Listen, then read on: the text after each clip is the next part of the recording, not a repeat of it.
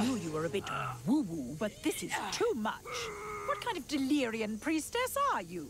One who will speak for Deliria, represent Deliria, receive her prayers and offerings. There is no higher authority on the will of Deliria than I. Except for Deliria. Oh, she's not around. Deliria worship will go so much more smoothly without Deliria. You'll see as you watch, powerless from within this gem. And now we're both dying. I can't believe you! None of this would have happened if you weren't so offended by the idea of helping your mother. I have no problem helping you. I just don't like being taken for granted.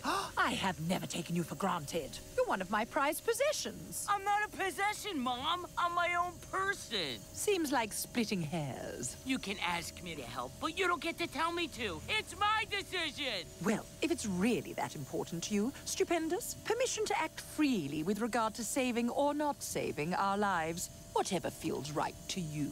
Good enough. You're too late. The gem will be satisfied. Okay. Excellent arm snap. Thanks for noticing.